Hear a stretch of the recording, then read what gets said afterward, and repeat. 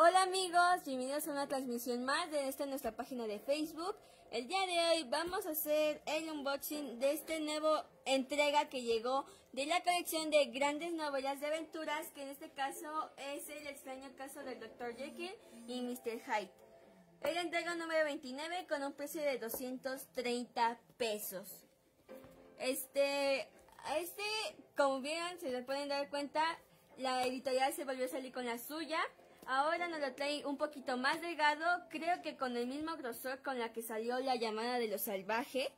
Se dan cuenta, este yo lo consideraba uno de los pequeños y miren, sería como la mitad de este. Así que si nos lo trajeron muy delgadito. Y pues como que ese aspecto no me gustó mucho. Sigue con el precio de 230 pesos. Y ahora sí, vamos a abrirlo. Recuerden que las entregas anteriores fue la Isla del Tesoro, Robinson Crusoe, La Vuelta al Mundo en 80 días, Las aventuras de Tom Sawyer, Los Tigres de Montprasem, Colmillo Blanco, Los Tres Mosqueteros, parte número 1 y parte número 2, El último de los Moicanos, Ivanhoe, La Flecha Negra, Las Minas del Rey Salomón, Los Viajes de Gulliver, La Isla de los Salvajes, el libro de la selva, perdón. Eh, 20.000 leguas de viaje submarino, las aventuras de Huckleberry Finn, historia de las ciudades, el príncipe y el mendigo, y la última batalla que es la de los tigres de Montprasem, su continuación. Ahora sí, vamos a checarlo. Pues aquí nos trae una hermosa ilustración donde podemos ver a esa a ese Londres de esas épocas y puedo, yo insinúo que esta persona sería Jackie. Se ve muy padre, como aquí vemos el el autor que es Robert Louis Stevenson, el margen, y aquí vemos el lomo, que en esta colección, este libro tiene la numeración del 16. Es el lugar que ocupa en nuestra colección. Y aquí el simbolito de Salvat. Aquí vemos las hojas de forro. Aquí el título de una manera sencillita. Aquí una imagen bien chida. Y aquí dice el título ya con una ilustración y con ilustraciones de Charles Raymond. Y vemos que hay un índice. Dice, historia de la puerta, en busca de Hyde, el doctor Jekyll estaba absolutamente tranquilo, el homicidio de Carey, el incidente de la carta, el extraordinario incidente del doctor Lane, Lanyon, el incidente de la ventana, la última noche, el relato del doctor Lanyon, la confesión de Harry Jackie, aquí 107 y vemos que así es. Nada, ese sería la única, el índice y lo que compondría nuestra historia. Aquí vamos, tenemos el simbolito de Salva y aquí vemos el primer capítulo. Historia de la puerta. Uderson, el notario, era un hombre de la cara arrugada, jamás iluminada por una sonrisa, de conversación escasa, fría y empachada. Retraído en sus sentimientos era alto, flaco, gris, serio y sin embargo de alguna forma amable. En las comidas con los amigos, cuando el vino era de su gusto, sus ojos transmitían una profunda humanidad, algo que, sin embargo, no llegaba nunca a traslucirse en sus palabras pero que tampoco se quedaba solo en los mudos gestos de una sobremesa, y que a menudo se manifestaba sobre todo y claramente en los actos de su vida. Así es como inicia nuestra historia. Pues técnicamente de lo que va a tratar nuestra historia es que cuenta la historia del abogado Uderson, que aquí no lo mencionan, que al transcurrir unos sucesos eh, misteriosos, el hombre pisoteó tranquilamente a la niña caída y siguió su camino. Bueno, al suceder una serie de eventos misteriosos en Londres, se da cuenta de que su mejor amigo, el abogado, o su mejor amigo, el honorable Jekyll, este, guarda un oscuro secreto. Sacó la llave, explicó en fiel, entró y volvió al poco rato con el dinero. Miren, aquí sí nos a traer varias imágenes y están seguiditas. Dice, ¿y no os habéis informado nunca sobre, sobre la casa tras la puerta? Las imágenes les digo que las hacen muy bueno, muy así, en esa estética misteriosa. Vamos a seguir. Y aquí vemos el nuevo simbolito. Nos van a dividir los capítulos con esta hoja en blanco, con el símbolo. Y aquí vemos el segundo capítulo, En busca de Hyde. Pues sí, a ver muchas ilustraciones. Sí, miren, están muy padres. Y pues esta temática de Dr. Jekyll y Mr. Hyde ah, las han usado para referencia de muchas películas, por ejemplo de Van Helsing, también una de la Liga de lo Extraordinario, en esa este actúa como héroe. También lo sacaron en los Looney Tunes, cuando Silvestre se vuelve malo y pues lo ponen de una manera bien cura, se ve chistoso. Y pues también de este libro han sacado muchas películas. Ay, también se me olvidó que también hicieron un cómic de Batman, también con esta temática.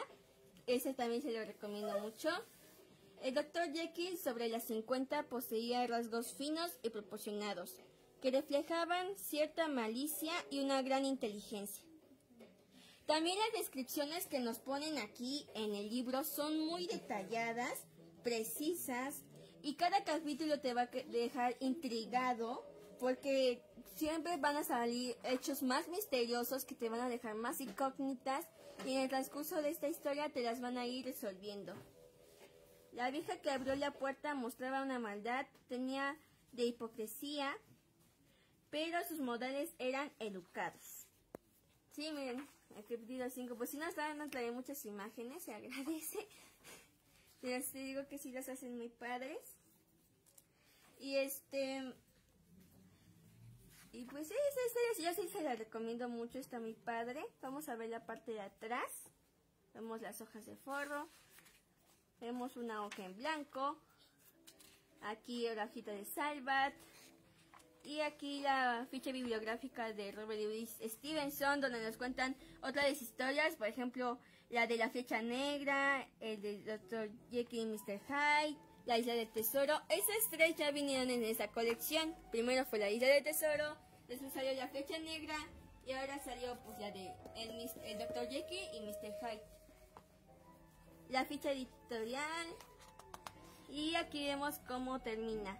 Pues aquí se vio que le trataron de rellenar con hojas de más, pero aún así no, no cumple con las expectativas de mi estética. Pero bueno, está muy padre esta historia. Y le digo, miren, nada más. Está muy chido. Este, pues, esta historia sí vale la pena. Si ya vienen las películas, pues me entenderán. Ya digo que han usado esta temática en muchas películas. Y más que nada este libro nos trata de reflejar ahora sí que la dualidad, la doble identidad que tienen las personas, de que pues todas las personas tienen un lado, son buenas y malas, que no te dejen engañar, pero a veces el mal se apodera y ahora sí que qué hacemos, ¿no? Vamos a acomodarla siguiendo nuestra numeración para que vean cómo se ve este librito con nuestros monstruotes como este. Miren nada más. Si se ve mucho la diferencia. Serían como 4 o 5 libros de estos. Vamos a acomodarlo. Este es el número 24.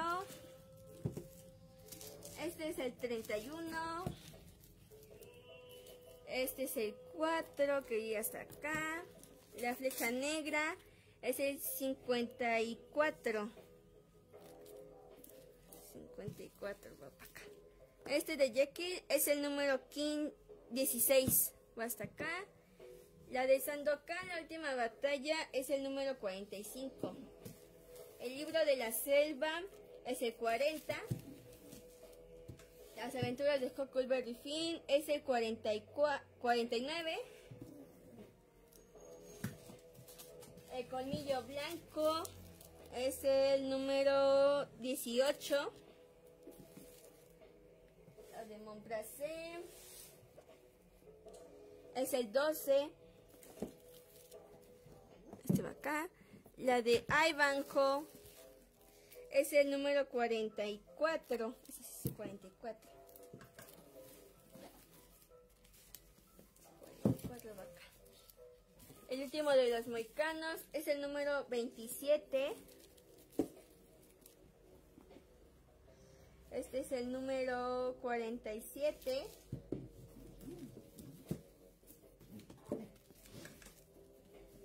La vuelta al mundo en 80 días es el 34.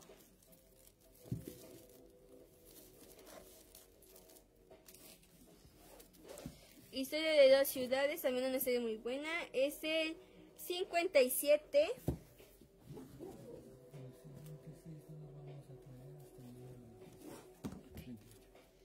Este es el número 4.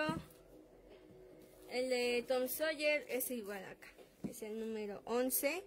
La isla del tesoro es el número 14.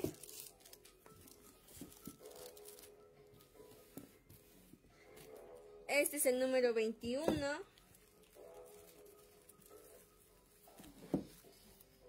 Y así la de Jackie es el número 16.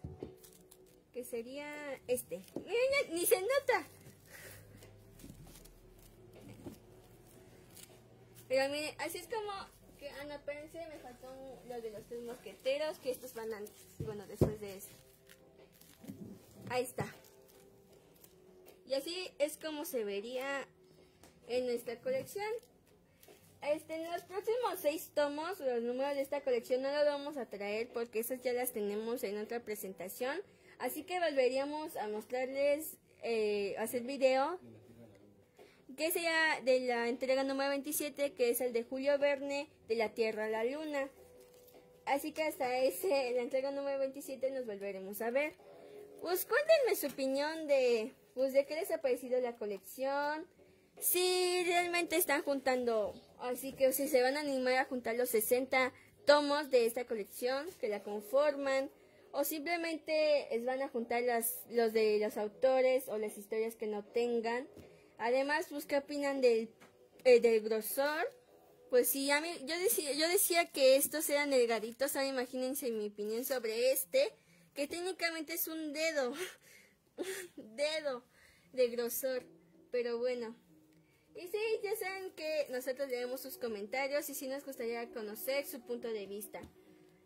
Eh, también recuerden que eh, podrán ver la repetición de este video en nuestro canal de YouTube. Les, les invito a que den like, que se suscriban y nos estaremos viendo hasta la entrega número 27.